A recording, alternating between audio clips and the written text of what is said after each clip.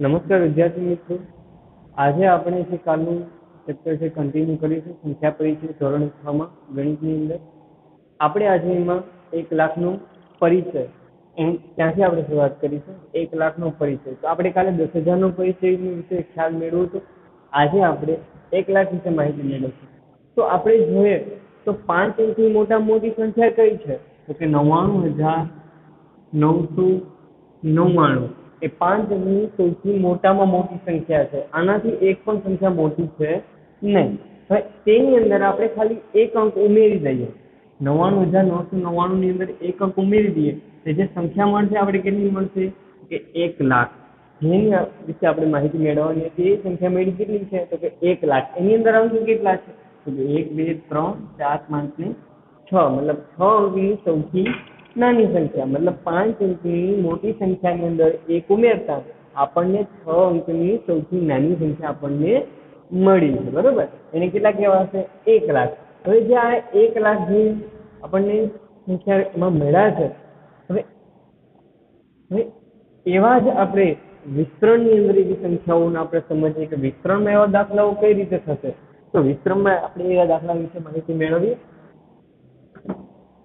તો જો ચાર લાખ ત્રાણું હજાર નવસો બત્રીસ છે. એનું આપણે વિસ્તરણ કરવાનું છે, બરોબર? અને શબ્દમાં બોલતા બધાને આવડતું જશે, ચાર લાખ ત્રાણું હજાર નવસો બત્રીસ. તો ચાર લાખ છે, તો ચારનું સ્થાન કયું છે? આપણે માહિતી મેળવીએ અને એના વડે ગુણીશું બરોબર? તો એકમ, દશક સો હજાર, દસ હજાર ને લાખ. કયું સ્થાન છે? લાખનું, બરોબર? તો આપણે એને લાખ વડે ગુણીશું. તો લાખ ગુણવામાં અહીંયા ધ્યાન રાખવું પડશે. કે અહીંયા જે આપણે ગુણીએ છીએ એ લાખ જ હોવા જોઈએ ન દસ હજાર કે દસ લાખ છે, એના વડે આપણે ગુણવાના નથી. જે સ્થાન છે એના વડે આપણે ગુણવાના છે. તો એકમ દશક સો હજાર દસ હજાર ને લાખ. તો અહીંયા જે આપણે ગુણ્યા છે લાખ છે કે નહીં, એ આપણે ચકાસી લેવાનું તો કે એકમ દશક સો હજાર દસ હજાર ને લાખ. મતલબ ચાર ગુણ્યા લાખ. પછીના અંક ઉપર આવવાનું. તો પછીનો અંક છે એ કેટલો છે? નવ. તો નવ ગુણ્યા એકમ દશક સો હજાર ને દસ હજાર. એટલે નવ ગુણ્યા દસ હજાર. હવે પછીનો અંક કયો છે? તો કે ત્રણ. તો ત્રણનું સ્થાન કયું છે? તો ત્રણ ગુણ્યા. સ્થાન જોવું પડશે એકમ દશક ને હજાર. તો ત્રણનું સ્થાન કયું છે? હજાર. પછીનું આપણે જોઈએ. તો પછીનો અંક કયો છે? ફરીથી નવ છે. તો નવ ને આપણે એનું સ્થાન વડે ગુણવાના. એની સ્થાનની જે જગ્યા છે, તો કે એકમ છે, આ દશક છે, આ શું છે? એને સો વડે આપણે ગુણીએ. હવે પછીનો અંક છે કયો? તો કે ત્રણ. તો ત્રણનું સ્થાન કયું છે? તો કે એકમ દશક. એટલે કેટલા થયા? દસ. અને જ્યારે છેલ્લો અંક છે, એનું સ્થાન કયું છે? તો કે એકમ. એટલે બે ગુણ્યા એક. એવી જ રીતે આ એક્ઝામ્પલ આપણે છે. તો એમાં પાંચ છે. એનું સ્થાન કેવું છે? આપણે ખાતરી કરવી પડે. પેલો અંક પાંચ જ છે. સૌથી મોટો અંક. તો કે એકમ દશક સો હજાર દસ હજાર ને લાખ. તો એનું સ્થાન કયું છે? લાખનું. તો લાખ વડે આપણે અહીં ગુણવા પડશે.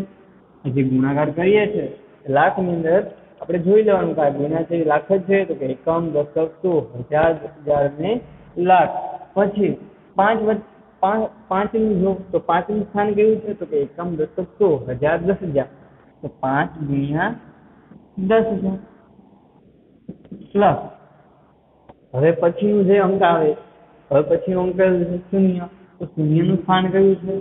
તો કે હજારનું જો આપણે જોઈ લઈએ તો કે એકમ, દશક ને એકમ, દશક સો. કયું સ્થાન છે? હજારનું એટલે આપણે એને કેટલા વડે ગુણ્યા? હજાર વડે. હવે પછીનો અંક કયો છે? એ પણ ફરી શૂન્ય છે. એનું સ્થાન કયું છે? તો કે એનું સ્થાન છે સો. કેમ? તો કે એકમ, દશક અને સો. આ અંક આવી ગયો છે. બરોબર? હવે આ અંકની વાત છે. તો એ અંકનું સ્થાન કયું છે? એકમ દશક એટલે દસ. હવે પછીનો અંક કયું છે? આ એકમ. તો એકમનું સ્થાનમાં શું થશે? કેના વડે ગુણવા પડશે. એકમ વડે. હવે પછી આપણે જોઈએ તો આ નવ લાખ પિસ્તાલીસ હજાર નવસો તેતાલીસ. નવ લાખ પિસ્તાલીસ હજાર નવસો તેતાલીસ. જે અલ્પ વિરામ મૂકવાની રીત છે એ હું તમને આગળ સમજાવીશ. નવ લાખ પિસ્તાલીસ હજાર નવસો તેતાલીસને આપણે વિસ્તરણ કરવાનું છે. તો નવ છે એનું સ્થાન આપણને ખબર છે. એકમ, દશક સો હજાર, દસ હજાર હવે કેવું છે એનું? લાખ છે. તો લાખ વડે એને આપણે શું કરવું પડશે? ગુણવા પડશે. તો ગુણી દીધા જે લાખ જ છે, તો એકમ, દશક સો હજાર, દસ હજાર ને લાખ. એવી રીતે ચારનું સ્થાન જોઈએ. ચારનું સ્થાન કયું છે? સરવાળાની નિશાની અહીંયા ચારનું સ્થાન કયું છે? તો એકમ, દશક સો હજાર અને દસ હજાર. ચાર ને દસ હજાર વડે ગુણ્યા. પછી પાંચમું સ્થાન કયું છે? તો પાંચમું સ્થાન છે એકમ દશક હજાર. તો પાંચ ગુણ્યા હજાર. હવે આપણે અહીંયા ફરીથી નવ પર જોઈએ. આ કયા સ્થાન ઉપર છે, બધાને ખ્યાલ આવી જ ગયો હશે હવે. એકમ દશક અને સો. એને કેટલા વડે ગુણીશું આપણે? સો વડે. તો ચારનું સ્થાન જોઈએ તો કે એકમ અને દશક. ચાર કયા સ્થાન ઉપર છે, દશક ઉપર એટલે દસ ઉપર. એટલે દસ વડે ગુણ્યા. અને આ ત્રણનું સ્થાન કયું છે? એકનું. એટલે એકમ વડે ગુણ્યા તો આ સંખ્યા જે છે અંકની સંખ્યાનું આપણે વિસ્તરણ જોઈ લીધું. હવે છેલ્લું ઉદાહરણ જોઈ લઈએ એનું. તેમાં ત્રણનું સ્થાન કયું છે? સ્વાભાવિક રીતે છ અંક છે, એટલે લાખનું જશે તો એકમ દશક સો હજાર દસ હજાર ને લાખ. તો એનું જે સ્થાન હોય એના વડે આપણે એને ગુણીએ છીએ, બરોબર? તો દસ હજાર આવશે હવે પછીનું સ્થાન. તો ચાર ગુણ્યા દસ હજાર. પછી સાતમું સ્થાન આવશે. તો સાતમું સ્થાન સાત ગુણ્યા હજાર પછી શૂન્યનું સ્થાન આવશે. શૂન્યનું સ્થાન કયું છે? જોઈ લો. એકમ, દશક અને સો. એટલે એને કેટલા વડે ગુણશું આપણે? સો વડે. હવે પછીના શૂન્યનું સ્થાન આવશે કેટલું? તો કે દસ. એને કેટલા વડે ગુણીશું? દસ વડે. હવે પછીનું શૂન્ય છે એનું સ્થાન કેટલું આવશે? એક. ઝીરો શૂન્ય ગુણ્યા એક. મેં તમને આગળ અગાઉ કહી દીધેલું છે. હજી તો કહું છું. કે કોઈ પણ સંખ્યાનો શૂન્ય સાથે ગુણાકાર થાય, તેનો જે જવાબ આવતો હોય છે, એ શું આવે છે? શૂન્ય આવે છે. બરાબર? ગણિતની અંદર કોઈ પણ અંકનો ગુણાકાર જે શૂન્ય સાથે થતો હોય છે, ત્રણ લાખ હોય, ચાર લાખ હોય, નવ લાખ હોય, એ કોઈ પણ સંખ્યાઓ એનો ગુણાકાર જો શૂન્ય સાથે થાય તો એનો જે જવાબ આવે છે, એ શું શું આવી જાય છે? શૂન્ય આવી જાય છે. બરાબર? તો એની જગ્યાએ એક હોય, તો એનો જવાબ કેટલો આવી જાય છે? દસ આવી જાય છે. આ બાબતનો ખ્યાલ રાખજો કે શૂન્ય સાથે ગુણાકાર થતા એનો જે જવાબ હોય છે હંમેશા શું આવે છે. શૂન્ય. આ વાતને જરાક યાદ રાખજો. હવે મિત્રો અહીંયા જો આ બધી મોટી સંખ્યાઓ છે. આ બધી સંખ્યાઓ કેવી કહેવાય છે? મોટી સંખ્યા. બરોબર? એક લાખ છે, એક કરોડ છે, દસ કરોડ છે, બધી સંખ્યાઓ કેવી કહેવામાં આવે છે? મોટી સંખ્યા. તો આપણે મોટી સંખ્યા વિશે થોડુંક સમજીશું.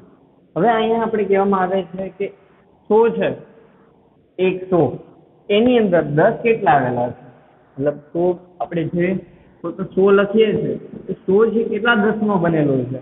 તો દસ દસ દસ, એમ કરીને કેટલા દસ આવેલા છે એની અંદર? તો જો દસ દસ એવા દસ ભેગા કરીએ ને, ત્યારે કેટલા બને છે? સો. જેમ કે દસ, વીસ, ત્રીસ, ચાલીસ, પચાસ, સાહીઠ, સિત્તેર, એંસી. નેવું ને સો. એમ કેટલી વખત ભેગા કર્યા દસ, દસને આપણે? દસ વખત. એટલે કેટલા બન્યા? સો. તો હજારમાં કેટલા સો આવેલા છે? સ્વાભાવિક છે. કેટલા સો આવેલા છે? દસ. કારણ કે જો હજાર રૂપિયા તમારી પાસે તમને કોઈ આપે છે અને એ સો સોની નોટ હોય તો સ્વાભાવિક છે કેટલી નોટ હોવી જોઈએ? દસ નોટ હોવી જોઈએ. બરાબર? એવી જ રીતે દસ દસની તમારે હજાર નોટ જોઈએ છે. હજાર રૂપિયાની તમને હજાર રૂપિયા આપે છે અને દસ દસની નોટ હોય તો એ કેટલી નોટ હોવી? ત્યારે એ હજાર રૂપિયા થાય. તો કે સો નોટ. અને એનો આપણે બીજી રીતે ખ્યાલ મેળવવો હોય તો કેટલા કેટલા રૂપિયા છે? તો કે હજાર. કેટલાની નોટ આપણે રાખવાની છે? તો કે દસની તો ભંગા દસ. હજાર રૂપિયા છે દસની નોટ છે, એટલે ભંગા દસ. શૂન્ય શૂન્ય ઉડી ગયા. તો કેટલી નોટ આપણે હોવી જોઈએ? સો. અહીં આપણે સો આવે છે. બરાબર? હવે એમાં શું એવી રીતે જોઈએ? એક લાખની.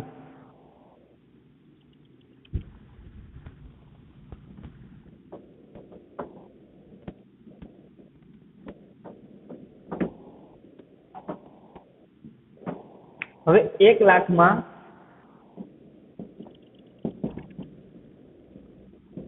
એક લાખની અંદર હજાર કેટલા આવે તો એક લાખ એટલે કેટલા તો એક લાખ, બરોબર, થઈ ગયા એક લાખ. એકાવન, દસ સો, હજાર, દસ, હજાર ને લાખ. એની અંદર હજાર કેટલા આવે છે આપણે મેળવવું છે? મેં તમને કીધું, મેં છેદમાં કેટલા મૂકી દો હજાર. હવે શૂન્ય શૂન્ય ઉડે છે. સમાન સમાન શૂન્ય પાછળ હોય એ છેદ ઉડે છે છેદ ઉડાડી દીધા, જે આપણે પાછળ શીખી જ ગયા છે. તો કેટલા વધ્યા? સો.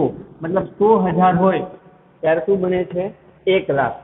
જે હજાર આપણે ભેગા કરીએ, એ સો હજાર હોય, ત્યારે કેટલા બની જાય છે? એક લાખ બની જાય છે. ત્યારે એવી જ રીતે જોઈએ, તો એક લાખમાં સો કેટલા આવેલા છે? એક લાખ જે છે, એમાં સો કેટલા આવેલા છે? બરોબર? એ આપણે મેળવવાનું છે કે એક લાખ રૂપિયા અથવા એક લાખ જે સંખ્યા છે, એની અંદર સો સો કેટલા, સો સોના આપણે કેટલા ટુકડાઓ બનાવી શકીએ? તો એક લાખના છેદમાં આપણે શું મૂકી દઈએ? સો મૂકી દઈએ, તો સીધી રીતે આપણને ખબર પડી જાય. સો એટલે રેડી હવે આપણે આના શું છેદ ઉડાડી શૂન્ય ઉડાડી દઈએ સરખે શૂન્ય ઉડાડી દઈએ યાદ રાખજો મિત્રો, વચ્ચે શૂન્ય ક્યારેય ઉડી શકતો નથી. જેમ કે એકસો એક છે, છેદમાં સો હોય તો આવી રીતે શૂન્ય ઉડી શકતો નથી. હવે અહીં કેટલા મળ્યા છે આપણને? હજાર. મતલબ કે એક લાખમાં કેટલા સો આવે છે?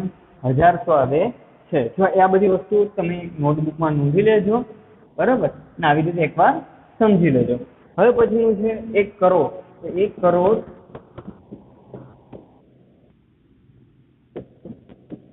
જોઈ લો મિત્રો, આ એક કરોડ થઈ ગયા છે, બરાબર? એકમ, દશક, સો, હજાર, દસ હજાર, લાખ, દસ લાખ ને કરોડ તો એક કરોડની અંદર લાખ કેટલા આવે છે?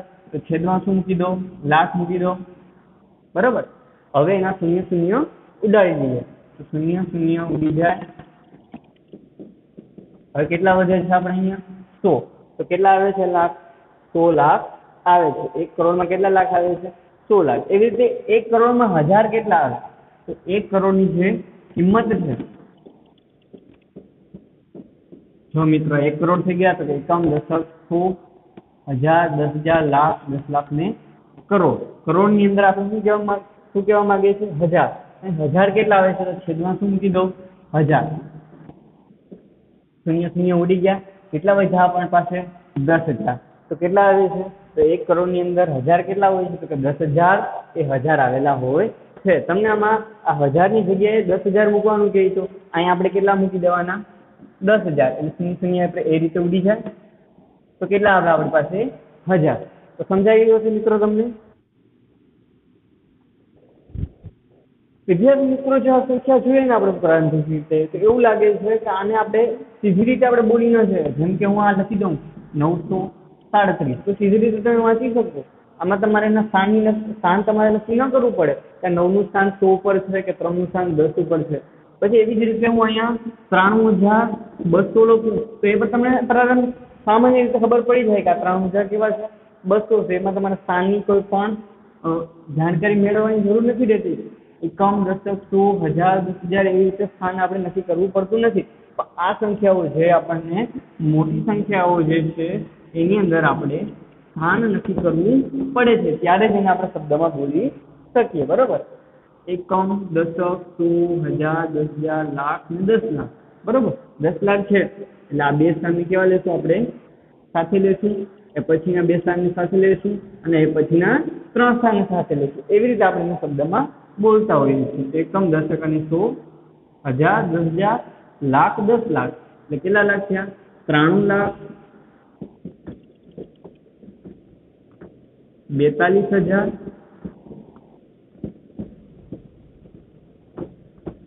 નવસો ચોત્રીસ. બરોબર. તો આની અંદર આપણે શું કરવું પડ્યું? તો કે એનું સ્થાન કયું છે? એ આપણે જાણકારી મેળવવી પડી. એવી જ રીતે એકમ દશક સો હજાર દસ હજાર લાખ દસ લાખ એટલે ત્યાંસી હજાર, એટલે ત્યાંસી લાખ તેતાલીસ હજાર નવસો તેતાલીસ. આ શું થયું? તો કે આને આપણે શું લખ્યું શબ્દમાં લખ્યું પણ એનું સ્થાન આપણે મેળવવું પડ્યું. સ્થાન વગર આપણે એને આપણે શબ્દમાં ફટાફટ આપણને ખ્યાલ આવી જતો નથી. એનો ફટાફટ ખ્યાલ આવી જાય એ માટે આપણે એમાં અલ્પ વિરામનો ઉપયોગ કરશું. જે આપણે નેક્સ્ટ મુદ્દાની અંદર આપણે ભણીશું. એકમ, દશક, સો, હજાર દસ હજાર, લાખ, દસ લાખ ને કરોડ. મતલબ આ કેટલા છે? તો કે આ સ્થાન કરોડ ઉપર છે એટલે ચાર કરોડ. એ પછીનું સ્થાન આવશે. હવે લાખમાં આવશે. એ ત્રણ લાખ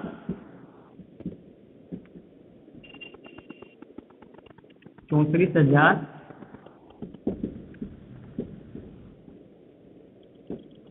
છેલ્લા ત્રણ, આઠસો ને ચોત્રીસ. આવી રીતે આપણે આને શબ્દમાં લખી શકીએ છીએ. હવે વાત એ છે કે આ જે સંખ્યાઓ છે, એને આપણે સહેલી રીતે જો અહીંયા આપણે લખી દઈએ તો આપણે ફટાફટ ખ્યાલ આવી જાય કે આ સ્થાન છે, એ લાખમાન છે, એટલે આપણે એને ફટાફટ બોલી શકીએ. તો જો આ બે ક્યાં છે? તો કે એકમ ઉપર. તો એકમના ખાનામાં એને રાખી દઈએ. ત્રણ કયા સ્થાન ઉપર છે? તો કે દસમાં તો દસના ખાના ઉપર રાખી દઈએ. નવ કેમાં છે? સોમાં તો સોના સ્થાન ખાનામાં રાખી દીધું કોષ્ટકની અંદર. આ ચાર છે કયા સ્થાન ઉપર છે? તો હજાર ઉપર. અને હજારના સ્થાન ઉપર રાખી દીધું. હવે સાત કેમાં છે? તો કે દસ હજારમાં તો એને દસ હજારના સ્થાન ઉપર રાખી અને આઠ કયા સ્થાન ઉપર છે? લાખ ઉપર. એટલે આઠના સ્થાન ઉપર રાખીએ દસ લાખની ઉપર આવી અંક નથી. એટલે આપણે રાખવું નહીં. આને આપણે શબ્દમાં લખવું છે કેવી લખી શકીએ. તો કે જો આ બેને આપણે સાથે બોલી શકીએ, બરોબર? કારણ કે લાખ અને દસ લાખ. પણ અહીંયા દસ લાખમાં કોઈ છે નહીં. એટલે આપણે એમ શું બોલશું? લાખની અંદર. એટલે આઠ લાખ. બરોબર? હવે પછીના બે ને આપણે સાથે બોલશું. દસ હજાર વાળું, બરોબર? એટલે ચુમ્મોતેર હજાર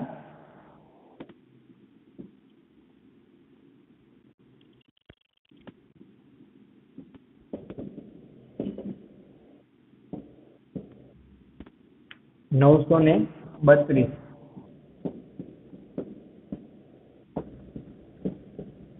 એવી જ રીતે આની અંદર આને આપણે એના સ્થાન પ્રમાણે ગોઠવી દઈએ તો એકમમાં કઈ સ્થાન આવશે? આઠ, દશકમાં સોરી દશક, દસમાં પાંચ, સોમાં સાત, હજારમાં બે દસ હજારમાં બે, લાખમાં ત્રણ દસ લાખમાં નવ. એટલે આ દસ લાખમાં આવ્યું તો દસ લાખનું જે છે આપણે બે સાથે બોલશું. એવી રીતે હજારનું આપણે સાથે બોલશું ને આઠસો શબ્દ સાથે બોલશું. બરોબર?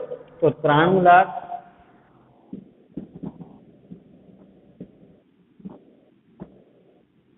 બાવીસ હજાર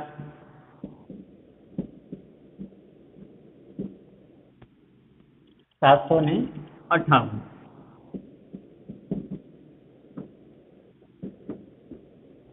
તો વિદ્યાર્થી મિત્રો, તમને આ વસ્તુનો ખ્યાલ આવી ગયો હશે. શબ્દમાં કઈ રીતે ઓળખી શકાય? હવે આ આપણને સહેલી રીતે પડે? ફટાફટ આપણે એને આપણે શબ્દમાં બોલી શકીએ. એ માટે આપણે એમાં આપણે શેનો ઉપયોગ કરશું? અલ્પવિરામ. જેમ કે આપણે એક લાખ લખવા હોય, આવી રીતે આપણે અલ્પવિરામનો ઉપયોગ કર્યો છે, તો ફટાફટ આપણે જાણકારી મળી ગઈ છે. પછી જે આપણને ક્યાંય પણ જોતા હોય, તો એની અંદર એક શબ્દ આવતો હોય છે મિલિયન બિલિયન તો મિલિયન બિલિયન આપણે ગણતરી અંદર મિલિયન શું કહેવા માંગે છે બિલિયન શું કહેવા માંગે છે, એના વિશે આપણે આગળ જોઈએ. વિદ્યાર્થી મિત્રો, તો અલ્પ વિરામ મૂકવાની યોગ્ય રીતો છે. બે પદ્ધતિ છે. ભારતીય પદ્ધતિ અને બીજી છે આંતરરાષ્ટ્રીય પદ્ધતિ. તો પહેલા આપણે એમાં ભારતીય પદ્ધતિ જોઈએ. ભારતીય પદ્ધતિ અલ્પ વિરામ મૂકવા માટેની ભારતીય પદ્ધતિ. તો કોઈ અહીંયા આપણે અંક લખીએ? બરાબર? એ અંક પ્રમાણે આપણે સમજતા છે અને ઉદાહરણમાં આપણે લખતા જઈશું તો જો ભારતીય પદ્ધતિમાં જમણેથી કઈ કઈ વસ્તુનું કયા કયા અંકને આપણે કયા કયા સ્થાનમાં આપણે કયું કયું નામ આપીએ છીએ તો જમણેથી એકમ, દશક, સો, હજાર, લાખ ને કરોડ નો ઉપયોગ કરીએ છીએ. સંખ્યાને આપણે દર્શાવવા માટે આ અંકનો આપણે ઉપયોગ કરીએ છીએ. એકમ દશક સો, હજાર, પછી બે અંકો એટલે દસ હજાર. એટલે આપણે હજાર લાખ કરોડનો ઉપયોગ કરીએ છીએ. હવે પ્રથમ અલ્પવિરામ કેટલા અંકો પછી આવે છે? તો કે જમણેથી ત્રણ અંક પછી. પ્રથમ અલ્પવિરામ ક્યારે આવશે? તો કે જમણેથી ત્રણ અંક પછી. આ જમણેથી ત્રણ અંક. તો કે એક, બે અને ત્રણ અંક. ત્રણ અંક પછી પેલો અલ્પવિરામ આવ્યો. એ શું સૂચવશે? તો કે હજાર સૂચવ, સૂચવશે. તો એ અલ્પવિરામ અહીંયા મૂક્યો છે આપણે, બરોબર? એ સંખ્યા ના જ હોત, જેમ કે નવસો બત્રીસ હોત, તો આપણે અલ્પવિરામ મૂકવાની વાત આવતી જ નથી. કારણ કે અહીંયા કંઈ હોય નહીં, તો અલ્પવિરામ મૂકવાની વાત આવતી જ નથી, બરોબર? એટલે એ પછીનો જે અંક છે, એ શું સૂચવશે તો કે હજાર. એટલે એ પછીના જે અંક હશે, એ શું હશે? હજાર. તો એ પછી, હવે બીજો અલ્પવિરામ ક્યારે મૂકવાનો? તો કે જમણીથી પાંચ અંક પછી, તો કે એક, બે, ત્રણ, ચાર અને પાંચ. તો પાંચ અંક પછી આપણે કયો અલ્પવિરામ મૂકો બીજો અલ્પવિરામ. તો ત્રીજો અલ્પવિરામ ક્યારે મૂકવાનો? તો કે જમણે પછી સાત અંક પછી, અહીંયા આપણે સાત અંક નથી, તો સાત અંક પછી એટલે એક, બે, ત્રણ, ચાર, પાંચ, છ, અને અહીંયા કહું હોય તો સાત, અને પછીના અંક ઉપર અહીંયા આપણે અલ્પવિરામ મૂકવાનો. આ પદ્ધતિ છે ભારતીય પદ્ધતિ, બરોબર? પણ એને વાંચવું હોય તો આપણે સહેલાઈથી વાંચી શકીએ કે સાત લાખ ત્રાસી હજાર નવસો બત્રીસ. આ અલ્પવિરામ મૂકવાની પદ્ધતિ છે. પહેલા ત્રણ અંક, પછી બે અંક, પછી બે અંક, પછી બે અંક એવી રીતે જેમ કે હું અહીંયા એક ઉદાહરણ હજી એક આપું. તમે કીધું એ પ્રમાણે. પહેલા ત્રણ અંક પછી અલ્પવિરામ મૂકવાનું તો એક, બે, ત્રણ અંક પછી મૂકો, પછી બે અંક પછી મૂકવાનું તો બે અંક પછી મૂકો, એક અને બે, ફરી બે અંક પછી મૂકવાનું. અને આવે તો હજી બે અંક, પછીથી કન્ટિન્યુ બે બે અંક પછી પોઈન્ટ અલ્પ મૂકવાનો. આ ભારતીય પદ્ધતિ છે, બરોબર? ભારતીય પદ્ધતિનું આપણે ઉદાહરણ જોઈએ. હવે આપણે આંતરરાષ્ટ્રીય પદ્ધતિ જોઈએ. તો આંતરરાષ્ટ્રીય પદ્ધતિમાં શું આવે છે? તેનો ફેરફાર છે થોડો તો એકમ આવે, દશક આવે, સો, પછી હજાર. ત્યાં સુધી આપણે બરોબર છે, બરોબર?